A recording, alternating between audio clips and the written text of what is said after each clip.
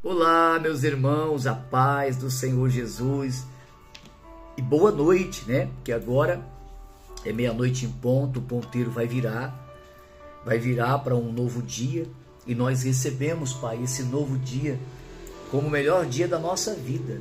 Que venha um novo dia, um domingo lindo que o Senhor está nos entregando, no qual eu quero ver vocês lá no canal às nove da manhã tá? Quero conhecer vocês pessoalmente, orar junto, entregar a estola e vai ser uma benção, tá? Vamos orar para abençoar o nosso dia, mas antes eu quero pedir para você para compartilhar essa live com todas as pessoas que você puder. Coloca no seu Facebook, seu Instagram, o status do WhatsApp, é importantíssimo você colocar. Você vai estar ajudando o Bispo Renato, o canal e muitas almas que serão acrescentadas os seus nomes no livro da vida, tá bom? E não se esquece também de se inscrever no canal, tocando na palavra inscrever-se, né? Inscreva-se, depois no sininho, depois na palavra todas. E vai ser extraordinário em nome de Jesus, tá? Olha, dia 25 eu vou estar no monte, tá? Outra coisa, não reclama. Nós estamos vivendo esse jejum de não reclamar. Ao invés de reclamar, abre a boca e agradeça. Fala, obrigado, Deus, obrigado, obrigado. Porque Deus é maravilhoso, amados. Deus é lindo. E, e, e certas coisas são necessárias acontecer, porque tem um propósito espiritual acontecendo por trás de tudo na sua vida. E você não vai entender de imediato aquilo ali. Mas lá na frente você vai compreender. Tá bom? Dá glória a Deus. E os valentes? Os valentes estão aí ajudando o bispo nessa missão pesadíssima, né? Que é pagar o aluguel da igreja, levar a cesta básica a quem tem fome, e os presentinhos das nossas crianças. Eu tava pensando aqui, gente, e, e, no Natal, aliás, no Natal a gente assumiu um compromisso com as nossas crianças, não foi? Lindo. São, é, a gente falou 97, mas quando chegou lá ela falou 120. 120 crianças. E tem as vovó também, amados, meu Deus. A gente vai falar mais sobre isso, tá? Vamos levar a cesta básica para as vovós que estão precisando. E no Natal a gente fazer aquelas crianças sorrir, hein? É? Cada um adota uma. A gente, a gente, descobriu um lugar na 25 que vende uns presentes tão baratinho. Cada uma adota. Tem gente que dá para adotar 10. 10 crianças, mano. Presente de 20 reais, 30 reais. E elas amaram aquela boneca da Barbie. Faltou boneca para todo mundo praticamente. Mas deixa na mão de Deus, tá bom? Vamos entrar em oração e pedir a Deus que abençoe a nossa vida, o nosso dia, o nosso jejum. Abençoe o canal, abençoe tua família, tá? Deus está vendo, tá bom? Descanse o coração. Deus está mandando abençoar alguém aqui agora. Você que meia-noite perdeu o sono, está acontecendo alguma coisa aí na sua casa, né? Deus manda te dizer que o anjo dele está aí, tá? Você vai dormir em paz. Deus está mandando te acalmar. Fica calma, fica calma. Deus está no controle. Essa humilhação cai por terra a partir de hoje, tá bom? Vamos orar meia-noite e agora é momento de oração.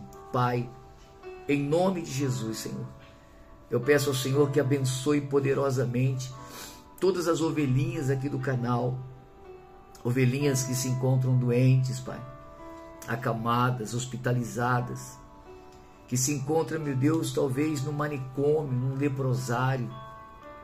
Ovelhinhas que se perderam, meu Deus, se encontram hoje na prostituição, nas drogas, nos vícios. Oh Espírito Santo, as ovelhas são tuas, meu Pai, e ninguém consegue achá-las a não ser o Senhor. Nosso papel é cuidar, mas achar impossível, mas o Senhor sabe onde estão todas elas agora. Algumas delas se encontram iludidas com esse mundo, esse mundo está enganando ela. E ela está lá na balada, sorrindo, achando que está feliz, mas quando a ficha cair, meu Pai, vai ser doloroso demais.